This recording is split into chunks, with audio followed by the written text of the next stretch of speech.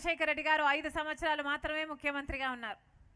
కానీ ఐదు సంవత్సరాలలో రాజశేఖర రెడ్డి గారు అందించిన సుపరిపాలన మీ గుండెల్లో చెక్. మీ గుండెల్లో ఈ రోజుటి వరకు ఈ రోజుటి వరకు చెక్కు చెదరలేదు.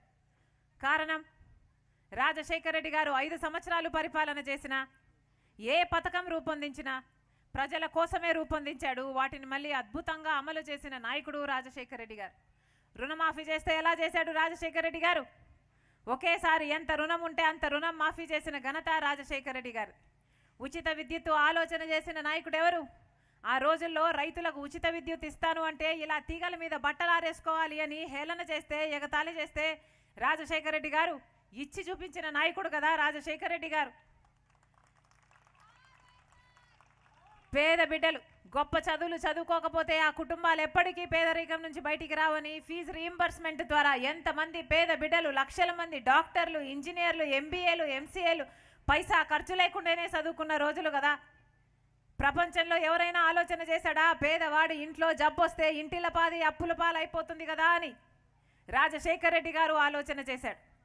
ఆరోగ్యశ్రీ ద్వారా ఎంతమంది పేదవాళ్ళకు గొప్ప గొప్ప ఆపరేషన్లు పైసా ఖర్చు లేకుండానే కార్పొరేట్ ఆసుపత్రికి వెళ్ళి చేయించుకున్న రోజులు కదా. అసలు పేదవాడు ఫోను చేస్తే ఇరవై నిమిషాలకే వన్ నాట్ ఎయిట్ అంబులెన్స్ రావాలి అన్న ఆలోచన చేసిన నాయకుడు అంతకంటే ముందు ఎవరైనా ఉన్నారా? రాజశేఖర్ రెడ్డి గారు కదా. నలభై ఆరు లక్షల మంది నలభై ఆరు లక్షల పేద కుటుంబాలకు ఇల్లు కట్టిన నాయకుడు ఎవరు? రాజశేఖర్ రెడ్డి గారు కదా. పోడు భూములకైనా అసెండ్ భూములకైనా లక్షల ఎకరాలకు హక్కు కల్పించిన నాయకుడు. రాజశేఖర్ రెడ్డి గారు కదా నాలుగు పర్సెంట్ మైనారిటీలకు రిజర్వేషన్ ఇచ్చిన నాయకుడు. రాజశేఖర్ రెడ్డి గారు కదా ఒకటి కాదు రెండు కాదు ఎన్ని పథకాలు చేశాడు రాజశేఖర్ రెడ్డి గారు. జలయజ్ఞంతో సహా ఇన్ని సంక్షేమ సంక్షేమ కార్యక్రమాలను చేస్తూ కూడా ఒక్క రోజు కూడా రాజశేఖర్ రెడ్డి గారు ఒక్క రూపాయి కరెంటు ఛార్జీలు పెంచలేదు. ఒక్క రూపాయి ఆర్టీసీ ఛార్జీలు పెంచలేదు. ఏ పన్ను పెంచకుండానే ఏ ఛార్జీలు పెంచకుండానే అన్ని సంక్షేమాభివృద్ధి కార్యక్రమాలను అద్భుతంగా చేసి చూపిన రికార్డు ముఖ్యమంత్రి ఎవరు? రాజశేఖర్ రెడ్డి గారు. అలా కదా ఒక ముఖ్యమంత్రి ఉండాలి? అలా కదా ఒక ముఖ్యమంత్రి ఆలోచన చేయాలి? అలా కదా ఒక ముఖ్యమంత్రి పరిపాలన చేయాలి? మరి ఇప్పుడు కేసీఆర్ గారు ముఖ్యమంత్రిగా ఉన్నారే? ఎనిమిది సంవత్సరాలుగా కేసీఆర్ గారు ముఖ్యమంత్రిగా ఉన్నారు. ఒక్కసారి కాదు రెండు సార్లు కేసీఆర్ గారికి ఓట్లేస్తే మరి కేసీఆర్ గారు ఏం చేశాడు? మీ గ్రామానికి ఏం చేశాడు? మీ కుటుంబానికి ఏం చేశాడు? మీ బిడ్డలకు ఏం చేశాడు? రుణమాఫీ చేస్తానన్నాడు. చేసిండా? మహిళలకు సున్నా వడ్డీకే రుణాలు ఇస్తానన్నాడు. ఇచ్చిండా? ఇంటికో ఉద్యోగం ఇస్తానన్నాడు ఇచ్చిండా? ఉద్యోగం ఇవ్వకపోతే నిరుద్యోగ భృతి ప్రతి నిరుద్యోగికి ప్రతి నెల మూడు వేల పదహారు రూపాయలు ఇస్తానన్నాడు కదా. ఇచ్చిండా? అల్లుడు వస్తే ఎడబండాలే అన్నాడు కదా. ఏమ్మా? అంతకుముందు అల్లుడే లేడు పాపం. కేసీఆర్ గారే ముఖ్యమంత్రి అయ్యాక మన బిడ్డలకు పెళ్ళిళ్ళు చేసిండు. ఎక్కడ పంటున్నాడు అల్లుడు? డబుల్ బెడ్రూమ్ ఇల్లు అన్నాడు ఆత్మగౌరవం ఇల్లు అన్నాడు కదా. ఒక్కరికైనా ఇచ్చాడా? ఏమా ఒక్కరికైనా ఇచ్చాడా? మూడెకరాల భూమి అన్నాడు ఇచ్చాడా? పోడు భూములకు పట్టాలన్నాడు ఇచ్చాడా? యాభై ఏడేళ్ళకే పెన్షన్ ఇస్తానన్నాడు ఇచ్చాడా?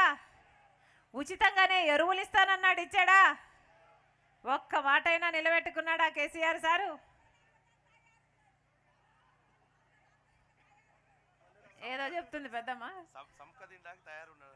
సంపుక తినడానికి తయారున్నాడు. అంతే కదా? గట్లుంటది మరి కేసీఆర్ తోని. కేసీఆర్ జన్మకి ఒక్క మాట అయినా నిలబెట్టుకున్నాడా తల్లి? కేసీఆర్ జన్మకి ఒక్క మాట అయినా నిలబెట్టుకున్నాడా అన్న? ఒక్కటి కూడా నిలబెట్టుకోలేదు. ఈ పటాన్ చెరువు నియోజకవర్గానికి ఏమైనా చేశాడా కేసీఆర్ గారు?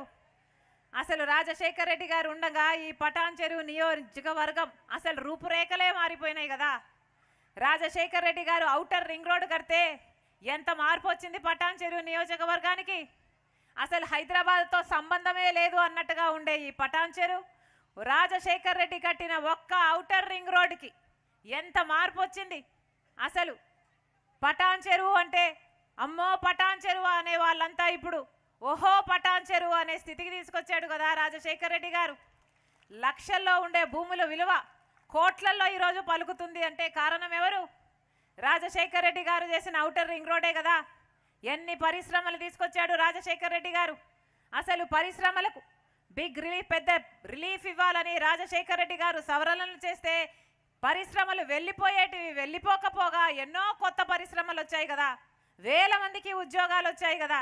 మరి రాజశేఖర్ రెడ్డి గారు అంత చేసినప్పుడు కేసీఆర్ గారు ఎనిమిది సంవత్సరాలుగా ఉండి మరి కేసీఆర్ గారు ఏం చేశాడు?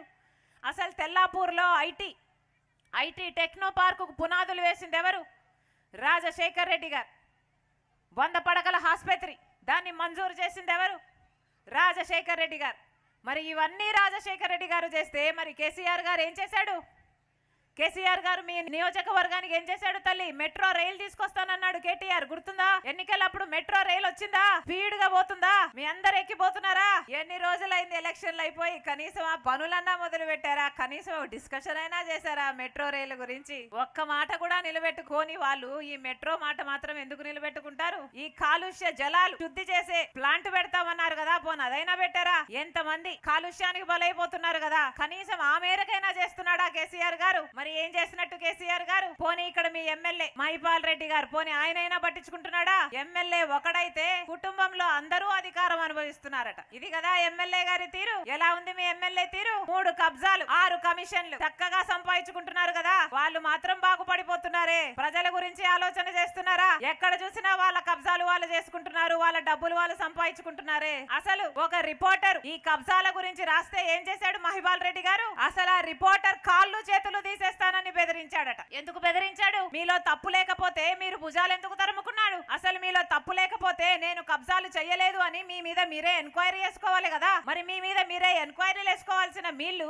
రిపోర్టర్లను కూడా బెదిరిస్తున్నారు అంటే ఇక ఇది ప్రజాస్వామ్యం ఎక్కడవుతుంది? ఇది దొంగల రాజ్యం కాదా? ఇది దోపిడీ రాజ్యం కాదా? ఏమైనా చేశాడా మీ ఎమ్మెల్యే గారు మీకు? ఒక్కరైనా ఇక్కడ ఉన్నారా మా ఎమ్మెల్యే ఇది చేశాడు అని చెప్పడానికి? మరి ఎందుకున్నట్టు ఎమ్మెల్యే గారు? పక్కనే ఉన్నాడు ఇంకొక ఎమ్మెల్యే జగ్గారెడ్డి గారు. ఎక్కడ ఎమ్మెల్యే? పక్కన సంగారెడ్డి ఎమ్మెల్యే. ఆయన ఈ రోజు నన్ను బెదిరించాడట. ఇంకొకసారి ఆయన గురించి మాట్లాడితే బాగోదు అని నాకు ఛాలెంజ్ చేశాడట. ఈ జగ్గారెడ్డి ఛాలెంజ్కు భయపడేదా రాజశేఖర రెడ్డి బిడ్డ? ఈ జగ్గారెడ్డికి చెప్తున్నా పచ్చి అబద్ధాలు మాట్లాడావు నువ్వు జగ్గారెడ్డి. రాజశేఖర రెడ్డి గారు చనిపోయిన రోజు మీరు పరామర్శించడానికి వస్తే మా ఇంట్లో వాళ్ళు బాధపడకుండా రాజకీయాలు మాట్లాడారు అన్న విషయం మాట్లాడాడు జగ్గారెడ్డి. అసలు ఆ రోజు మా కుటుంబంలో పడ్డ బాధ మాకే తెలుసు. చెట్టంత మనిషిని కోల్పోతే అసలు మా మొడం మీద తలకాయ తీసేస్తే ఎలా ఉంటుందో అలా బాధపడ్డాం మేము. అసలు బతుకుతామా చేస్తామా అన్నట్టుగా బాధపడ్డాం మేము. ఏం తెలుసు ఈ జగ్గారెడ్డికి? ఏం తెలుసు ఈ జగ్గారెడ్డికి? సిగ్గుండాలి కదా పచ్చి అబద్ధాలు మాట్లాడుతూ రాజశేఖర రెడ్డి బిడ్డకు ఛాలెంజ్ చేస్తాడా? భయపడేది కాదు ఈ రాజశేఖర రెడ్డి బిడ్డ. అసలు ఎవడి జగ్గారెడ్డి? ఎవడి ఛాలెంజ్ చేసేవాడు? పాలమూరు ఉమ్మడి పాలమూరు జిల్లా ఎమ్మెల్యేలు అందరూ కలిసి స్పీకర్కు ఫిర్యాదు చేశారు. భయపడిందా రాజశేఖర రెడ్డి బిడ్డ? భయపడిందా రాజశేఖర రెడ్డి బిడ్డ? ఇంకా ఒక ఎమ్మెల్యే మరదలు అంటే ఎవడ్రా నీకు మరదలు అన్నందుకు నా మీద ఎఫ్ఐఆర్ బుక్ చేశాడు ఒక మంత్రి నిరంజన్ రెడ్డి. భయపడిందా? ఆ ఎమ్మెల్యేకి ఆ మంత్రికి రాజశేఖర రెడ్డి బిడ్డ? మరి భయపడేదా ఈ రాజశేఖర రెడ్డి బిడ్డ? ఎవ్వరికి భయపడేది కాదు. జగ్గారెడ్డికి భయపడేది కాదు. ఆ పాలమూరు ఎమ్మెల్యేలంతా అసెంబ్లీలో ఫిర్యాదు చేస్తే దానికి భయపడేది కాదు. ఈ యొక్క మంత్రి ఎఫ్ఐఆర్ బుక్ చేస్తే దానికి భయపడేది కాదు రాజశేఖర రెడ్డి బిడ్డ. దమ్ముంటే నన్ను అరెస్ట్ చేసుకోండి అని బేడీలు చూపించి మరీ ఛాలెంజ్ చేసింది ఈ రాజశేఖర రెడ్డి బిడ్డ. దమ్ముంటే మీరు అరెస్ట్ చేసుకోండి. మీకు చేతనైంది చేసుకోండి.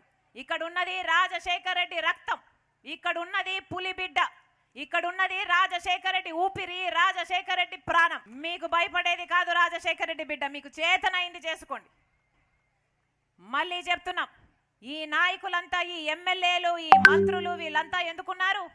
వాళ్ళ డబ్బులు సంపాదించుకోవడానికి ఉన్నారు కొత్త బిచ్చగాడు పొద్దెరగడు అన్నట్టు కొత్త బిచ్చగాడు పొద్దెరగడు అన్నట్టు డబ్బులు సంపాదించుకోవడం ఒక్కటే అజెండాగా పెట్టుకున్నారు కదా. వీళ్ళ ప్రజల గురించి మాట్లాడేది? ఈరోజు దళిత బంధు ఇస్తున్నామంటున్నారే ఎవరికి ఇస్తున్నారు? దళితులను ఎంతగా మోసం చేశాడు కేసీఆర్ సారు? అసలు దళిత ముఖ్యమంత్రి దగ్గర నుంచి దళితులకు మూడెకరాల భూమి వరకు దళిత బంధు వరకు అన్ని మోసాలే చేశాడు కదా? మరి ఇప్పుడు కేసీఆర్ గారు దళిత బంధు ఇస్తున్నాడట. ఎంత మందికి ఇస్తున్నాడు? ఇరవై లక్షల దళిత కుటుంబాలు ఉన్నాయి మన రాష్ట్రంలో. ఎంత మందికి ఇస్తున్నాడు కేసీఆర్ సారు? ఇరవై వేల మందికి ఇస్తున్నాడా? లేకపోతే రెండు లక్షల మందికి ఇస్తున్నాడా? కనీసం పది శాతం ఇస్తున్నాడా? లేకపోతే ఐదు శాతం ఇస్తున్నాడా? ఎంత మందికి ఇస్తున్నాడు? సిగ్గు లేకుండా ఈ రోజు ఇంద్రకరణ్ రెడ్డి మంత్రి ఏం మాట్లాడుతున్నాడు? దళితులు పోయి మాకెందుకు ఇవ్వడం లేదు? దళిత బంధు అని వాళ్ళు గొడవకు దిగితే ఏమన్నాడట? నా ఇష్టం వచ్చిన వాళ్ళకి ఇస్తాను నేను మీరు ఎక్కడ చెప్పుకుంటారో చెప్పుకోండి అన్నాడట. ఆ మంత్రి. అధికార మతం కాకపోతే ఏమిటి? అధికార మతం కాకపోతే ఏమిటి? ఎవడి సొమ్ము అనుకున్నారు దళిత బంధు? మీ అబ్బ సొమ్మా? మీ తాత సొమ్మా? మీ అయ్య సంపాదించిండా మీ అనుచరులకు ఇవ్వడానికి ఎవడు సొమ్ము అనుకున్నాడు? ప్రజల సొమ్ము ప్రజలకు ఇవ్వడానికి మధ్యలో మీ బోడి పెత్తనం ఏంటి అని అడుగుతున్నాం. అసలు ఈ ఎమ్మెల్యేలకు ఇవ్వాల్సిన అవసరం ఏముంది దళిత బంధు హక్కు అని అడుగుతున్నాం. అసలు దళిత బంధు అనేది దళితులకు ఇవ్వాల్సిన డబ్బు అయితే మరి ఎమ్మెల్యేలకు ఎందుకు ఉండాలి ఈ పెత్తనం అని అడుగుతున్నాం. అసలు కలెక్టర్ ఎందుకు చేయకూడదు ఈ పని? లేకపోతే ఆర్డీఓ ఎందుకు చేయకూడదు ఈ పని? ఎమ్మెల్యే చేతుల్లో పెట్టడం ఏమిటి? అసలు ఎమ్మెల్యే చేతుల్లో దళిత బంధు పెట్టారు అంటే ఇంకా ఏమనాలి దీని ఎమ్మెల్యే బంధు అనాలా? ఎమ్మెల్యేలు అనుచరులకు ఇచ్చే బంధు అనాలా? ఏమనాలే? అంతే కదా? వాళ్ళ అనుచరులకు ఇచ్చుకుంటున్నారే. పేదవాళ్ళకి ఇస్తున్నారా? పేదవాళ్ళు బాగుపడుతున్నారా? అందుకే వైఎస్ఆర్ తెలంగాణ పార్టీ కేసీఆర్ను డిమాండ్ చేస్తుంది. ఈ దళిత బంధు డబ్బులనేటివి ఎమ్మెల్యేలకు సంబంధం లేకుండా ఒక కలెక్టరో ఆర్డీఓను డైరెక్ట్ దళితులకు ఇచ్చే ఏర్పాటు చేయాలి. అంతేకాదు ప్రతి నియోజకవర్గంలో ఆ లిస్టు ఎంత మందికి ఇస్తున్నారో ఆ లిస్టు కూడా బయట పెట్టాలి. ఆ లిస్టులో నిజమైన బెనిఫిషరీలు ఉన్నారా లేదా దళితులు ఉన్నారా లేదా అనుచరులు అవునా కాదా అనేది ప్రజలు తేలుస్తారు. నిజంగానే మీకు చిత్తశుద్ధి ఉంటే నిజంగానే మీకు దళితులు బాగుపడాలన్న కోరికుంటే ఇది చేయాలని కేసీఆర్ను వైఎస్ఆర్ తెలంగాణ పార్టీ డిమాండ్ చేస్తుంది.